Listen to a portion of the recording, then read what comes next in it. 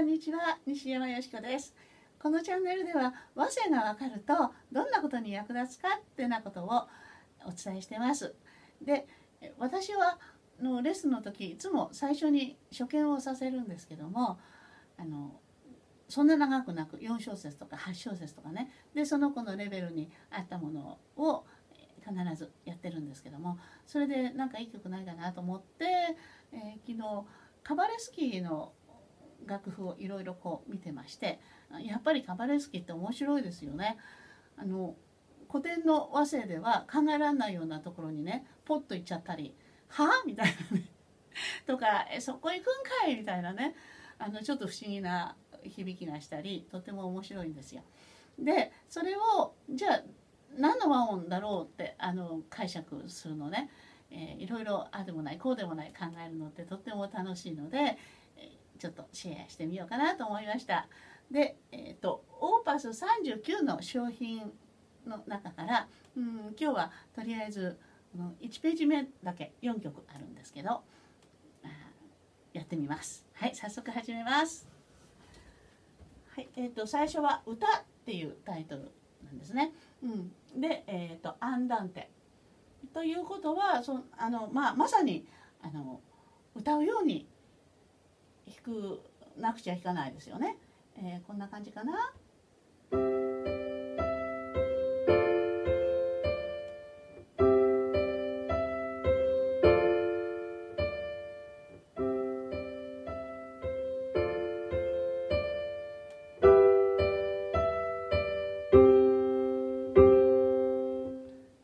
こんな感じで、はい、いいと思うんですけどもそれで、えー、どんな和音は何が使われてるかと言いますとえー、最初1度ですよね。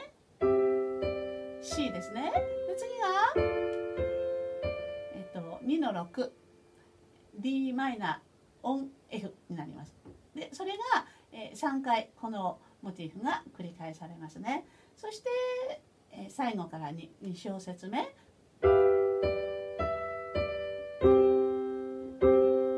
えっとここは5度から1度にいってます。はい。で本当にあのシンプルに、えー、これはそんなにあの変なところいかないんですけどね。でも、えーと、ぜひあの気にしてほしいのがこの左手の「C」は右手の「ド」に進んでるっていうことをあの、うん、ちゃんと意識して弾いてほしいですね。はい、そして最後。なんとドソドなんですよ。でこれって、えー、第3音がないドミソドミがないこれって和声のあの規則から言ったらバズですよね。えー、第3音は重複も省略もしちゃいけないわけですからでもあえてこの「み」はあの取っちゃった削除しちゃったんでしょうね。でそうんなんか、うん、あのこの芳醇な響きではなくこうねあのなんなんて言ったらいいかなこうビシッと決まってるみたいな 感じしますよね。はい、なので、えー、これ歌ですからあのもう最初にメゾフォルテそれで途中で、えピアニッシモからクレッシェンドをしてメゾフォルテってなってますけどでもやっぱりこの2小節のフレーズごとにやっぱりちょっとこうこういうなんかこう膨らんでまたしぼんでくっていうねそういう表情欲しいですよね。はいなので、えーと、例えばこんな感じにすると面白いかな。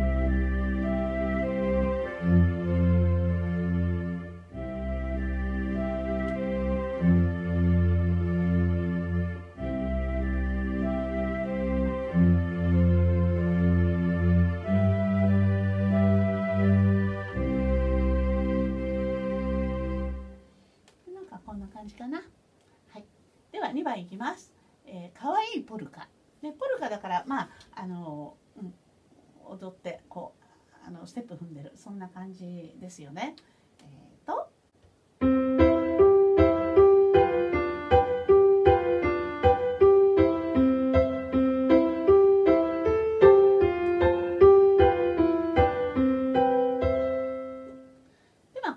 で、えーと、可愛らしく1 2 3 4 1 2 3 4こうなんかステップ踏んでる感じがいいと思います。で、え使ってる和音は、えこれもあのシンプルですね。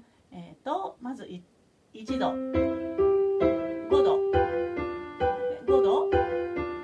1度。で1度。ここで4度。そして5度、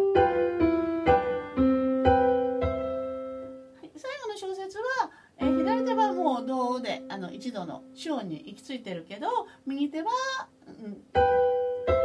とあのまだ 5, 5度でそれから一度に解決するっていう、はい、風になってますね。えーと、例えばこんな音色でどうかな？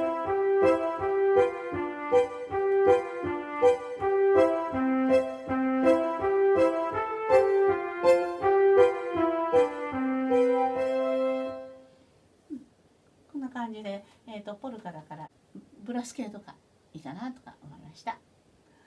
3番は行進曲風に。で、えー、ここに Tempo di marcia って書いてありますからまあテンポのあのマーチのテンポですよね。1234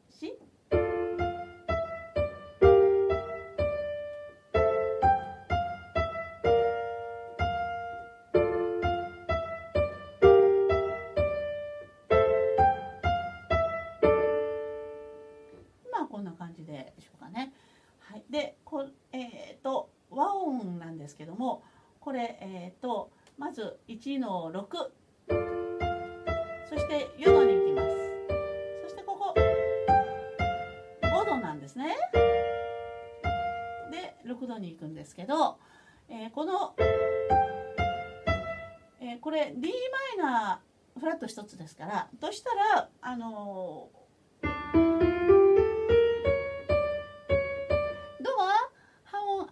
ですよね。だけどここ上がってません。でこれ何かっていうと,、えーと、自然と音階を使ってるわけですよね。だからまあエオリアエオリア戦法って言ったらいいと思います。なのでえっ、ー、と5度もドシャープじゃなくてこうじゃなくてラドミ a マイナーになるわけです。音階を使って書かれてます。で、えっ、とやっぱり最後のえっとラド左手のドは右手のレに、進みたいってそこをあのちゃんと意識してくださいね。そしてえこれもやっぱり第3音省いてますね。はい、えー、きっとあのカバレスキーこういう響きが好きなんでしょうねきっとね。ということで、えーと、でも行進曲風にしてはなんかちょっとあの裏寂しい感じですよね。はい、でなのでこんなイメージで行ってみました。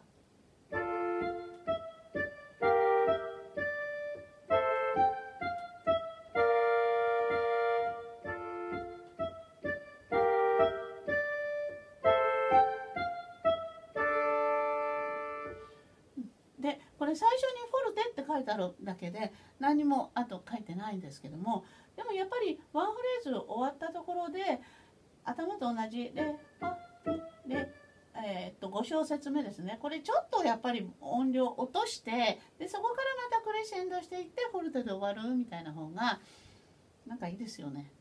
はい、って思います。はい、4曲目「子守歌」です。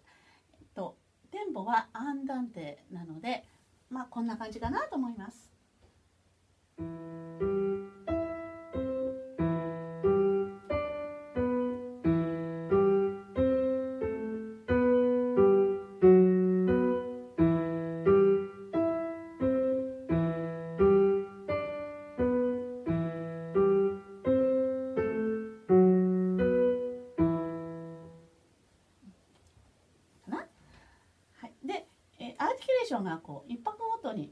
8分符2つに「ティーヤン」「ティーヤン」ってなっているこれはきっとあの赤ちゃんをこうねゆらゆらっとティー揺らしてるその雰囲気を表してるんじゃないかなと思います。あのゆりかごでもいいし、まあ、抱っこしててもいいんですけどもゆらゆらっていうねなので音色も優しい音色で弾きたいですねこれはね。そして、えー、和音をどう解釈するかなんですけども、えー、これ2小節目と6小節目に「みそレシ」この「レ」があの第7音なのに、えー、シャープがついてません。ということは普通の和声単音階ではないということですよね。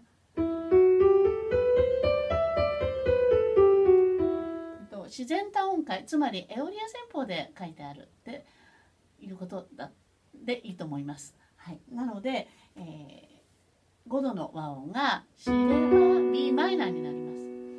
えっと普通に和声単音階だったらシレバこうですよね。えっと B になるんだけどここでは b マイナーになります。はい、ではそれで和音つけてみます。まず1度 e マイナー C6 度 e マイナー1度 b マイナー5度 C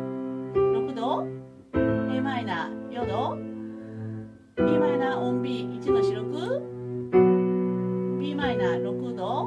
ごめんなさい5度。で、えー、また1度。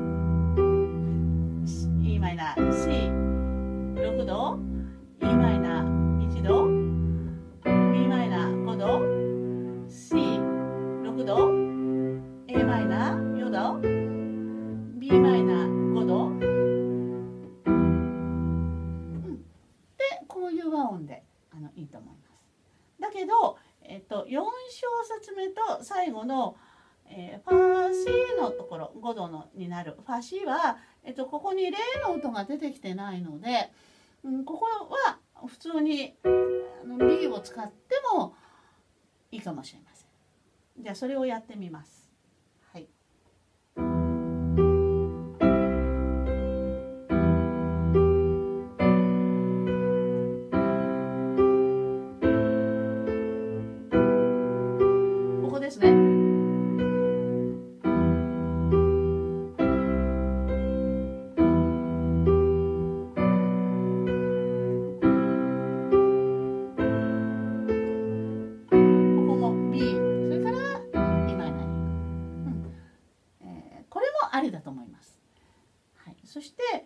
一応キーが E なので1度から始めてみましたけど、えー、これあの2ソ2ドなのでいきなり C からで考えてもいいと思います。なので C でしょ？そしてで e マイナー7に行く。1度なんだけど、えー、第7音目次じゃ。そして次。ヨドだけどここにも Am7 セブンスをつけてやろう。そして次は同じですね。E マイナー on B b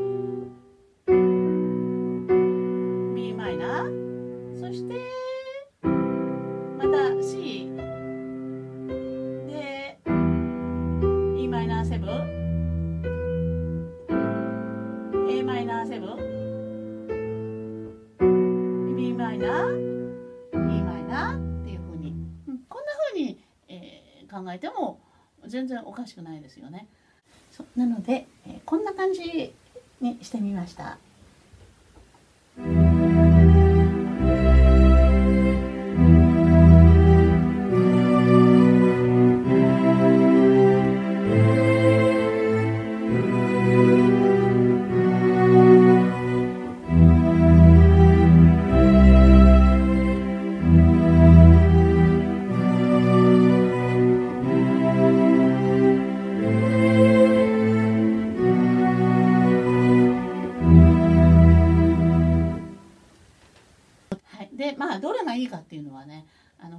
ないのであのみんなそれぞれいいなと思ったのでいいと思うんですよね。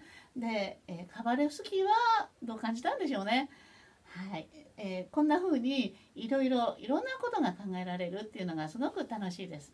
なので、はい、あの和声しっかり分かるようになって、えー、こんなことを楽しんでみたらあの本当楽しいと思います。あの生徒さんにもねそういうふうなことをご説明してあげられるといろいろ興味持つんじゃないでしょうか。はい、というわけで、えー、今日はカバレスキーのオーパス39の商品集の1番から4番までをやってみました。